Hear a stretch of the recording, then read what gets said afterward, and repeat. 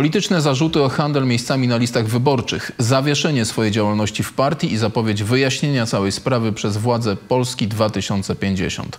To konsekwencja afery, która wybuchła wokół opolskiego posła tej partii, Adama Gomoły. O szczegółach Wiktoria Katus. W połowie lutego poseł Adam Gomoła miał przekonywać jednego z kandydatów trzeciej drogi w wyborach samorządowych na wpłatę 20 tysięcy złotych. Ów kandydat zabiegał o pierwsze miejsce na liście wyborczej.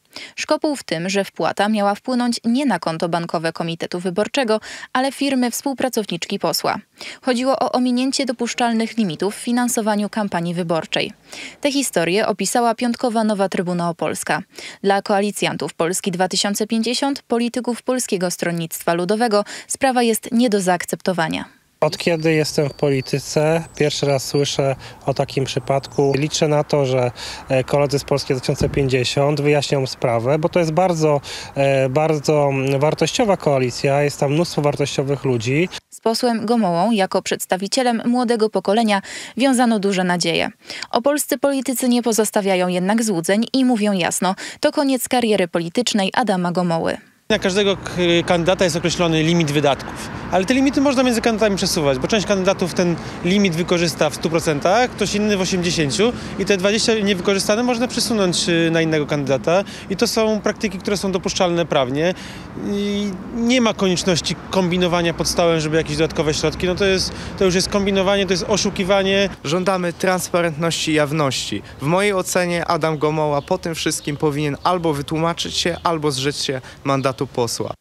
Na konsekwencje nie trzeba było długo czekać. Opolski parlamentarzysta zawiesił się w prawach członka partii oraz nie będzie brał udziału w kampanii samorządowej. Jeżeli to oskarżenie, które spotkało pana posła Gomołę, potwierdzi się, albo przynajmniej ja nadal będę miał wątpliwości co do tego, jak w tej sytuacji się zachował, to będę rekomendował i władzom klubu, i zarządowi partii zakończenie współpracy z panem posłem Gomołą. My tę sprawę dogłębnie wyjaśnimy i sprawdzimy, na czym opierają się te zarzuty, jak są poważne. Rzecz jasna, żadna partia nie może sobie pozwolić na to, żeby, była, żeby miała zarzuty, była oskarżana o to, że w jakiś sposób obchodzi prawo wyborcze. To jednak nie wszystko. Politycy suwerennej Polski domagają się również interwencji wymiaru sprawiedliwości. Myślę, że e, będzie dalszy ciąg tej sprawy i tym, e, tymi wszystkimi tutaj e, nieprawidłowościami na podstawie doniesień NTO powinna zająć się prokuratura. Poseł Adam Gomoła przez cały dzień był dla nas nieuchwytny. Jego telefon milczał. Wiktoria Katus, Kurier Opolski.